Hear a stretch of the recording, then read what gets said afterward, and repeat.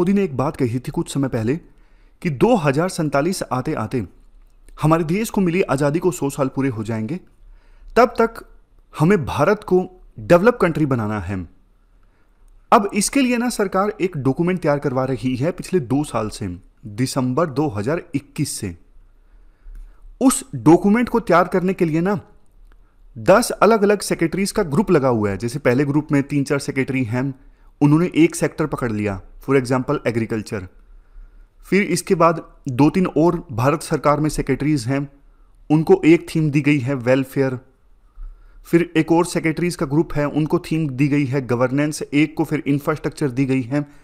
इस प्रकार से ना, भारत सरकार में सेक्रेटरीज के दस अलग अलग ग्रुप्स काम कर रहे हैं अलग अलग थीम्स पर, और नीति आयोग कंसोलिडेट करेगा इस पूरे प्लान को.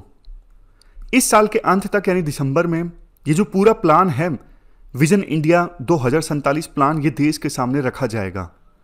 इसमें देखो, बताया जाएगा कि कौन कौन से सेक्टर्स में इंडिया लीड कर रहा होगा दो आते आते और इसके लिए क्या रिफॉर्म्स लाए जाएँगे, क्या रोड ब्लॉक्स हैं, उन सभी चीज़ों पे ध्यान दिया जाएगा। पूरा प्लान है ये। अभी ये प्लान ना वर्ल्ड के अलग अलग इकोनॉमिस्ट को भी शो किया जाएगा, जैसे वर्ल्ड बैंक के प्रेसिडेंट है अजय बंगा एप्पल के चीफ हैं टीम कुक इंडिया के इंडस्ट्रियलिस्ट हैं या फिर दूसरे लीडर्स हैं, उनको भी ये प्लान दिखाया जाएगा कि आप बताइए क्या आपको कोई ब्लाइंड स्पॉट दिख रहा है प्लान में कोई कमी है तो बताइए। नीति आयोग के जो सीईओ है ना बी वी आर सुब्रमण्यम, उन्होंने एक बात बोली कि सबसे बड़ा जो डर है ना वो ये है कि इंडिया कहीं मिडिल इनकम ट्रैप में ना फंस जाए।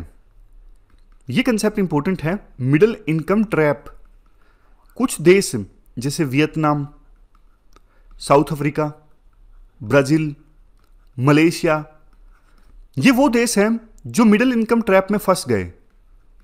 क्या है ये मिडिल इनकम ट्रैप? देखो, जब कोई देश मेहनत करके लो इनकम से मिडिल इनकम की कैटेगरी में तो आ जाता है।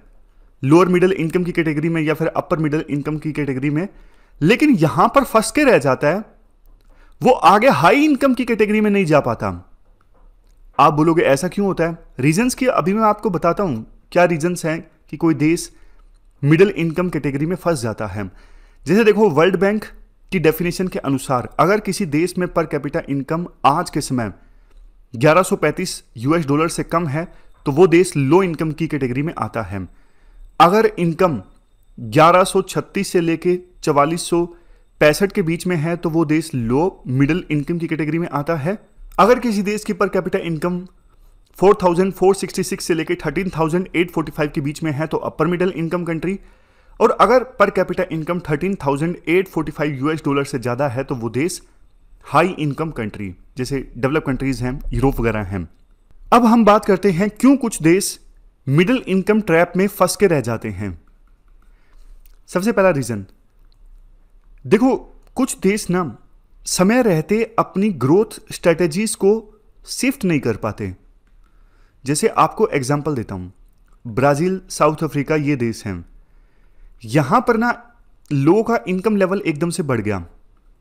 इकोनॉमी एकदम से मज़बूत हुई।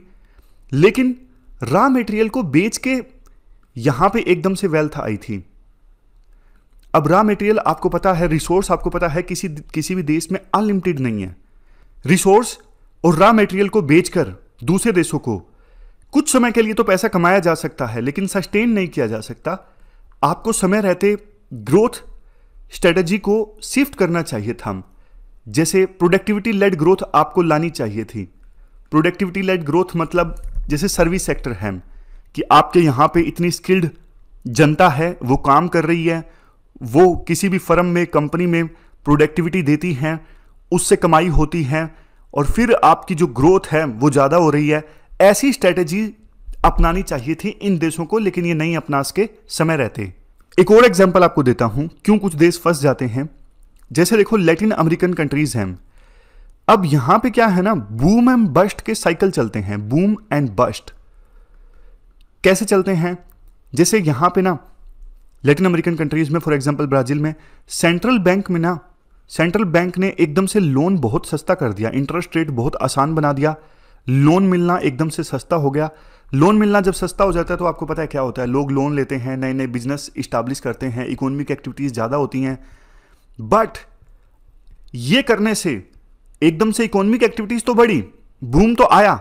लेकिन बाद में क्या हुआ कि लोन वापस नहीं आए बैंक के पास में? जैसे इंडिया में एनपीए हो जाता है। आसान लोन दे दिया गया था। बिना किसी चीज़ को गिरवी रखे, बहुत ही सस्ता लोन लेकिन वो लोन बैंकों को वापस नहीं मिला। इसलिए क्या हुआ? बिज़नेस बंद होने स्टार्ट हो गए फर्दर लोन मिला नहीं बैंक भी घाटे में चलने लगे, यानी स्टेज आ गई बस्ट की। तो ये साइकिल चलते रहते हैं। पहले इंटरेस्ट रेट को आसान बनाया बूम आया एकदम से, लेकिन लोन वापस नहीं मिला बैंकों को तो बस्ट हो गया। ये काफ़ी समय तक चलता रहा चलता रहा। तो ये देश मिडिल इनकम ट्रैप में फंस गए। कभी यूरोप की तरह हाई इनकम कैटेगरी में आ ही नहीं पाए। जबकि देखो, कुछ देश ऐसे हैं for example Japan, South Korea, वो तेज़ी से मिडिल इनकम ट्रैप से बाहर निकल गए और आज डेवलप कंट्री में उनकी गिनती होती है हाई इनकम कैटेगरी में वो आते हैं। अब बात करते हैं इंडिया के लिए क्यों कहा जा रहा है कि इंडिया मिडिल इनकम ट्रैप में ना फंस जाए। देखो, कुछ चिंता की बातें हैं, जैसे इंडिया में इनइक्वालिटी काफ़ी ज़्यादा है इनइक्वालिटी की वजह से होता क्या है? जो बिल्कुल अमीर लोग हैं ना लेडर में, उनके पास तो बहुत वेल्थ है। लेकिन जो मिडिल क्लास के लोग हैं, वो कैटेगरी एक्सपेंड नहीं हो पा रही है। और जो गरीब लोग हैं, वो गरीब हैं ही। गरीब लोग गरीब लोग इतनी डिमांड जनरेट नहीं करते। असली जो डिमांड जनरेट है ना, वो मिडिल क्लास के लोगों के द्वारा की जाती है। मिडिल क्लास के जो लोग हैं, यही तो खर्चा करते हैं ना ज़्यादा। लेकिन मिडिल क्लास की जो कैटेगरी है ना, वो एक्सपेंड नहीं हो पा रही है। इसकी वजह से हमारे देश में ना प्राइवेट कंजप्शन कम है। प्राइवेट कंजप्शन कम है। प्राइवेट कंजप्शन बढ़ेगी, तभी तो डिमांड जनरेट होगी ना। नेक्स्ट इंडिया को ना, अब स्पेशलाइजेशन पे ध्यान देना चाहिए। स्पेशलाइजेशन इंडिया में उतनी नहीं है। जैसे ना जापान साउथ कोरिया इन्होंने सेक्टर्स आइडेंटिफाई कर लिए कि यहाँ पे हमारी स्ट्रेंथ है। For example electronics industry Japan और साउथ कोरिया ने ये सेक्टर आइडेंटिफाई किए, अपना बेस्ट इन्हीं सेक्टर्स में दिया, जिनकी वजह से बहुत ग्रोथ आई इन देशों में।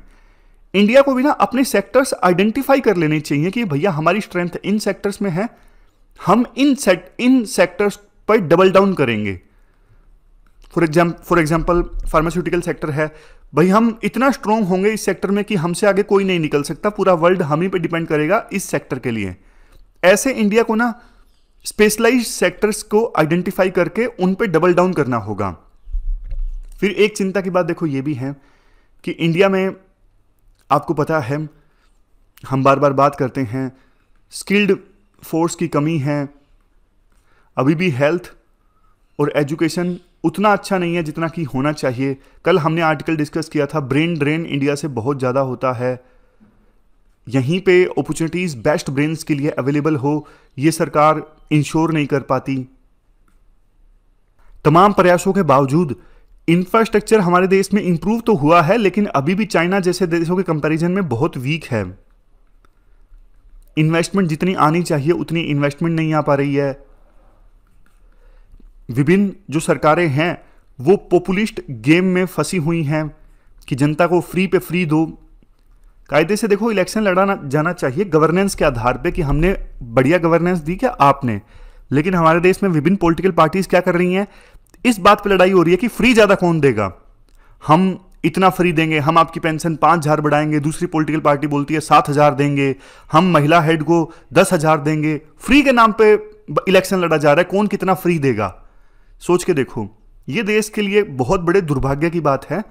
क्योंकि वही बात है जो आपको भी पता है, काफ़ी बार हम डिस्कस कर चुके हैं। फ्री में देने के बजाय उन्हें इतना कैपेबल बनाओ कि वो इकोनॉमी में कंट्रीब्यूट करें और सरकार के ऊपर डिपेंडेंट ना रहें। समझ गए? लेकिन उसके लिए चाहिए समय। पॉलिटिकल पार्टीज़ ये कर नहीं पाती, असली काम जो उन्हें करना चाहिए। इसलिए ये काम, ये वादा करना आसान है कि हाँ हम आपको फ्री में देंगे। और एक्चुअल में रिफॉर्म्स लाना इंफ्रास्ट्रक्चर डेवलप करना, वो उनको मुश्किल लगता है।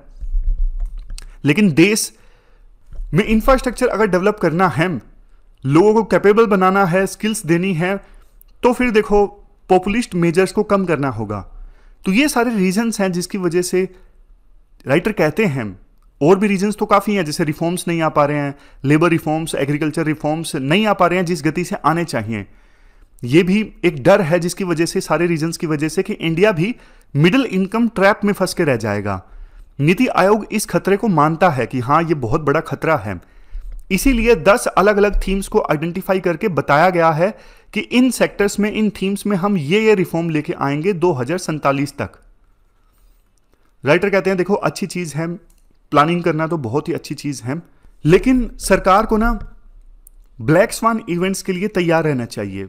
ब्लैक स्वान इवेंट्स मतलब अनप्रडिक्टेबल इवेंट्स फॉर एग्ज़ाम्पल मैं आपको बताता हूँ अभी जहाँ एक तरफ़ इंडिया सपने देख रहा था, India, middle east, Europe corridor के। किसने सोचा था एकदम से युद्ध स्टार्ट हो जाएगा इसराइल और हमास के बीच में? किसने सोचा था? 1997 से पहले आप देखिए। एकदम से ईस्ट एशियन कंट्रीज़ ग्रो कर रहे थे, थाईलैंड, सिंगापुर वगैरह। किसने सोचा था एकदम से क्राइसिस आ जाएँगे? लेकिन एशियन इकोनॉमीज में क्राइसिस आ गए। तो ये है ब्लैक स्वान इवेंट्स जिनके बारे में पता नहीं होता, एकदम से आ जाते हैं। तो ऐसे इवेंट्स के लिए इस प्लान में जगह होनी चाहिए और समय समय पे इस प्लान को रिविजिट किया जाए कि अभी हम कितना आगे हैं, कहाँ पे हैं, सब कुछ एसेस होना चाहिए समय समय पे। समझ गए? ताकि प्लान को रिवाइज किया जा सके। वैसे इस प्लान में ऐसी जगह होगी ये जो प्लान दो तीन महीने में सरकार रिलीज़ करेगी ना, इसमें ना दो पीरियड में प्लान को डिवाइड किया गया है, एक 2030 तक, उसके बाद आने वाले 17 सालों के लिए। 2030 तक क्या लक्ष्य है, क्या एक्शन पॉइंट्स हैं, वो बताया जाएगा। फिर 2030 के बाद अगले 17 सालों में क्या एक्शन पॉइंट्स हैं, क्या लक्ष्य है, क्या ऑब्जेक्टिव्स हैं, वो भी बताया जाएगा अलग से। प्लान को दो पार्ट्स में डिवाइड ही इसलिए किया जा रहा है ताकि इंडिया मिडिल इनकम ट्रैप में ना फंस जाए।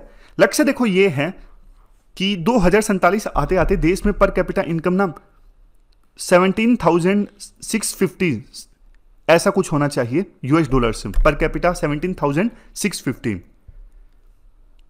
फिर राइटर लास्ट में ये कहते हैं, देखो पहले फाइव ईयर प्लान हुआ करता था, उसको छोड़ दिया गया आज के समय में, और अब ये दो हज़ार वाला प्लान आएगा तो बढ़िया है, देश को एक गति मिलेगी, कोई भी पॉलिटिकल पार्टी आए, इस प्लान पे स्टिक रहना चाहिए।